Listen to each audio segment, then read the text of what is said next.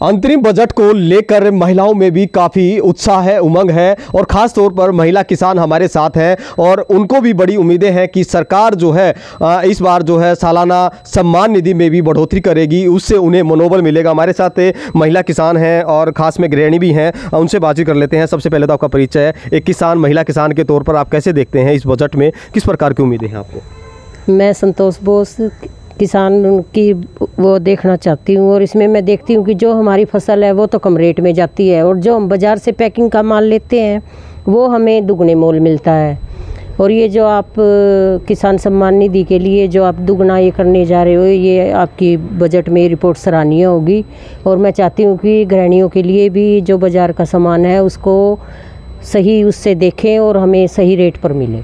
एक महिला किसान के तौर पर अगर ये बढ़ती है सम्मान निधि तो कितना मनोबल बढ़ेगा एक महिला किसान में आगे बढ़ने के? क्योंकि महिला सशक्तिकरण को लेकर लगातार सरकार बढ़ावा दे रही है। किसानों के लिए इस बार सरकार ने विशेष ध्यान रखने की उम्मीद मानी जा रही है। ये तो सबसे अच्छा काम होगा क्योंकि महिलाओं के लिए ये जो कर रहे हैं हज़ार रुपये इससे गृहिणियों को मनोबल मिलेगा और महँगाई के लिए ये है भी ठीक।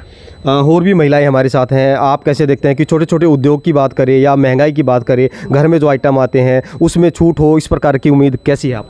मैं मैं मोनिका बोस जो घर में सामान आता उसको भी छूट होनी चाहिए।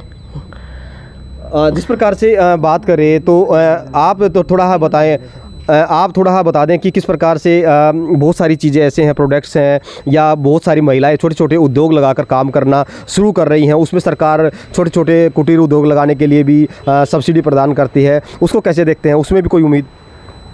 उसमें तो ये है, अगर सरकार हमें मनोबल देगी तो हम कुछ ना कुछ करना चाहेंगे।